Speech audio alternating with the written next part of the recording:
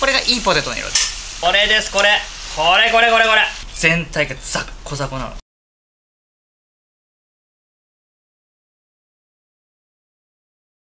どうも芋野郎です。ということでですね、今回はですね、チコシリーズやっていきたいと思います。今回はもう本当にシンプルで美味しいチコのワイルドポテト、ポテトです。フライドポテトで皆さん、あの、外で食べるっていうイメージすごい強いですね。なんですけども、フライドポテトは家で作るのが一番美味しい。なぜかというとですね、お店でやると何回も何回も繰り返してあげるんで、油が新鮮じゃないっていうこともあるんですけども、お家だと揚げたてをそのまま食卓に出せるのですぐいけるっていうのがありますんで、それが本当に美味しい。非常に食べ応えのある。味付け最高、ホックホクのじゃがいもから作る至高のフライドポテト作っていきたいと思います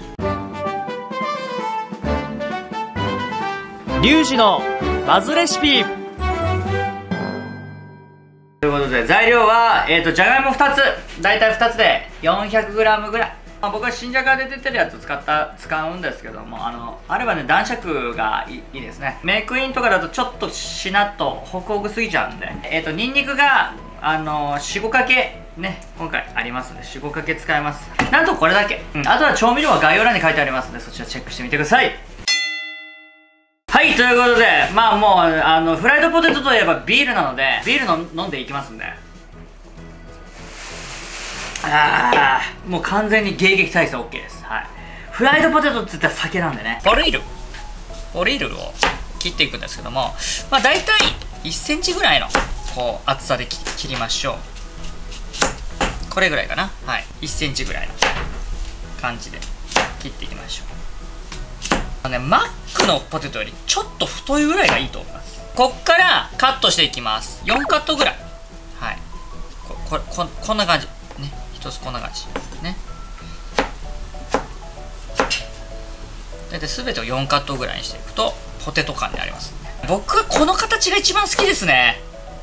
食べ慣れ親しんだこの形が。真ん中切ってこんな感じで4等分してあげて。1センチ。もしくは1 5センチ角ぐらいな感じですもんね。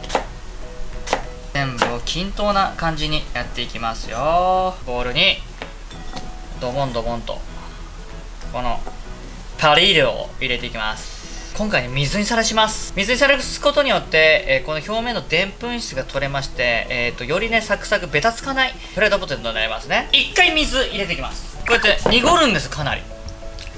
でここでちょっとゴニョゴニョゴニョゴニョやると。水すごい濁りますね。一回これ捨てます。一回捨てた姿がこちらでございます。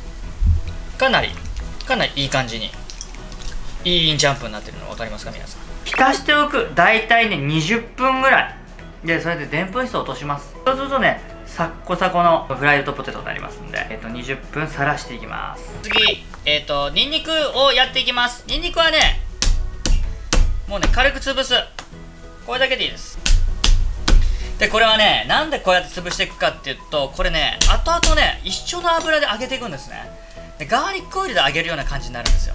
なんでこれ潰してあんまり潰しすぎるとねこのニンニクの粒が細かくなりすぎて焦げちゃうんでなんで軽く潰すぐらい。そうするといい香りが出てきますんでこのいい香りでビールを飲んでいきます。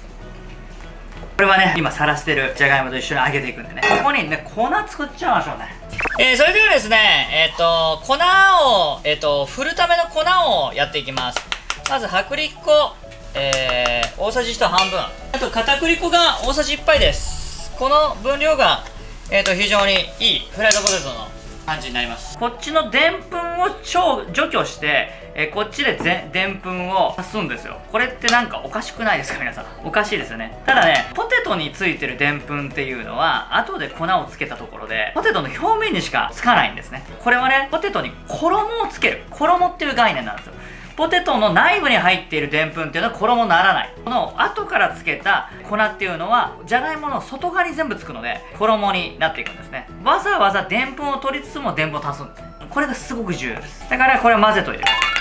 はいそれではねえっ、ー、と15分経ちましたんでもう除去されましたでじゃあだからざるにあけます。あね冷凍のが簡単だけどね。でもこういう作り方を覚えておくのも僕はいいんじゃないかなって思います。よく水気切ったこのポティッティ。このまま揚げちゃうとねめちゃめちゃ跳ねんすよ。なんで一回ね水気をね取ります。まあ、キッチンペーパーをね上からやってこうやってこうちゃんと水気を除去すると。そうするとね水気が除去されて跳ねない。はいこんな感じです。ポテト入れていきます。はい全部ね入れました。はい粉をまぶしていくわけです。ワシャワシャしてあげていただいてもいいんですけどもできる方はこうやってなんかフライ返しフライパンを返すような感じで全体的に、えーかけてあげると衣つきがいいです。全体が白くなるようにまぶしてください。これでやっと揚げに行きます。そうしましたらね揚げの工程に入ります。まずさっき、えー、と衣つけたポテトを、えーここに入れていきます。ちょっとふるって入れた方がいいですね。はいこんな感じです。潰したニンニクどもをぶち込んでいきます。はい。ねサラダ油でいいです。でかけていくんですけども大体ねこれ半分が浸かるぐらいでいいです。これぐらい。はい。これぐらいでいいです。空気にさらしながら揚げた方が美味しいんでこれぐらいの量でいいです。で最初強火。ちょっとでシュワッと言います。シュワッといったら弱中火ぐらいまで落とします。揚げ物ってあったかい上からやるじゃないですか。今回はね違うんです。じゃがいもってじゃあなんでそうやってやるのかっていうとじゃがいも茹でるとき沸騰したお湯でやらないって学校家庭科とか習わなかったですか根菜類って煮るときに必ず低い温度からやるんですね。徐々に茹でていった方が煮崩れしないとかそういった利点があるんですけども今回はですね徐々に徐々にそれを加えていくことによってまだでんぷん残ってるんですよ。どんどんどんどんね外にねじわっと染み出していくんですよ。油なんですけどもこれねあの必ずポテトがね半分ぐらい出るようにしてください、えそうするとですね空気と油が両方とも触れてる状態になってざっくりといきます。慣らした時にこれぐらいの油の量大体半分ぐらい出てるでしょ頭。これがいいんです。で、えシュワシュワいってきましたね。ここで弱めの中火ぐらい。でこれ、ね、じっくり揚げていきます。このままずっと煮ていくとポテトがねあのサカスサカスカサカサっていってくるんでちょっと乾いたら混ぜるような感じです。大体10分。で10分このまま。少し弱めの中火ぐらい。で10分揚げていきます。これはいそれではですね10分経ったのがこんな感じです。まだね全然色づいてないですね。こっから10分経ったら少し強めにいきます。はい。ちょっと強めの中火ぐらい。こっからねカリッと色づかせます。泡の勢いがちょっと強まったの分かりますか？さっきより。ちょっとね火力上げました。まあ5分ぐらい揚げてって食感をつけていきます。サクッといってるんですけどもここからちょっとね混ぜながらやっていきます。それで空気触れさすことによってえー、とポテトもねカリッと仕上がりますんでね。ちょっと体勢変えながらやっていきます。だんだんだんだんこのポテト色づいていきます。でこのニンニクと一緒に揚げることによってこのガーリックの香りが全部ポテトに移ってね仕上がった時にはもう最高のプリリルになりますんで。これとかすごくいい色になってきましたね。はい。全体的にこの色を目指します。このニンニクはあんまり焦げすぎると美味しくなくなっちゃうんで苦みが出てきちゃうんでいいからかんのところで、えー、と避けます、まあ、今ね13分ぐらい経ちましたんで13分ぐらい経ったら今15分ぐらい経ったんですけども34分揚げたいんで。揚がったかどうかっていうのはもうねあの食べて判断してください。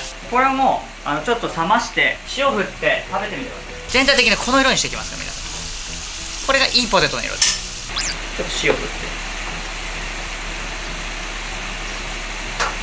完璧ですね。計だから18分ぐらい揚げますかね。で持ってみるともうポテトがねこう硬いのが分かると思いますこうやって。これですこれ。これこれこれこれこれぐらいのいい色になったらもうこういうの揚げてください。もうこれねザッコザコになってますから。この色ね。この色。非常に美味しそうでしょ。もうこういうね色のものから揚げていきます。まあ少しね色づいてなくてもそんなに気にしないでも大丈夫なんで。もう全てがもうこの温度でザコザコになってると思います。ねでざるに揚げていきます。はいこんな感じですね。クッキングペーパーであの吸わして捨ててください。上がりの色こんな感じ。全体的に。カラッと上がってそうでしょこれ。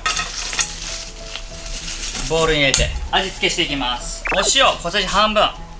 これね好みがあるんであの半分だとちょっと多いかなって思う方は少なめから入れてくださいね。僕酒飲みなんで濃いです。じゃあと1234567はい。バター。ねバター。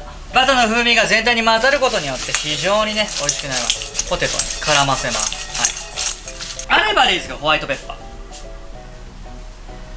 ー。6振りぐらい。はい。これで絡ませます。ホワイトペッパーのがねあの結構高級感のある香りになるんで。なければブラックペッパーで全然平気です。全然平気。僕がホワイトペッパーの方がポテトに絡めるんだったらいいっていうだけなんです。はい。そしたらお皿に盛ってそしたらもうポテトもう盛り付けこのお皿にガーッと入れるだけ。ほら全体がザッコザコなの。加熱ね甘いとねザッコザコいかないんで皆さん気をつけて。ここにパセリを。バーッとねお店っぽくねするために振ってはい至高のフライド完成でございます。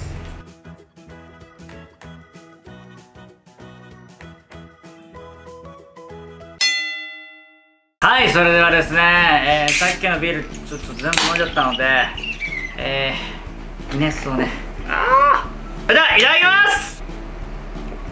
あー、タコザコのポテトいただきます。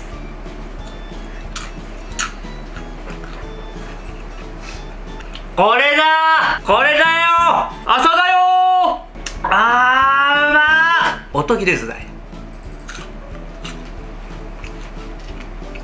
この音!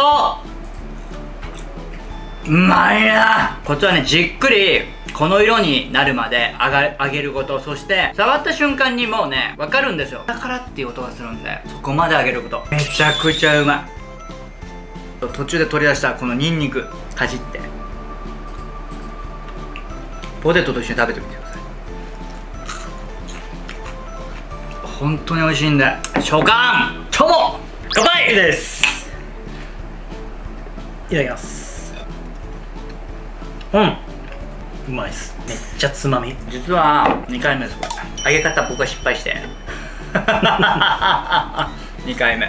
ザコザコ感完璧でしょ。ホワイトペッパーめっちゃいいっすねこれ。これが食べさせたかった私は。ちょっと早くこれでみんなで飲みたいです。持ってきてみんな。えい今日パーティーメニュー用意しましたから食べてください。いただきます。いただきます